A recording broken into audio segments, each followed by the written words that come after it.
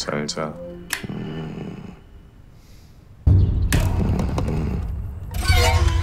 오빠 누가 들어왔어?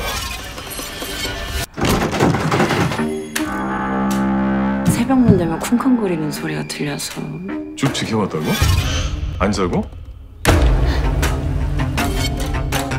오빠! 오빠 왜 이래? 어, 원하는 게 뭐예요 나한테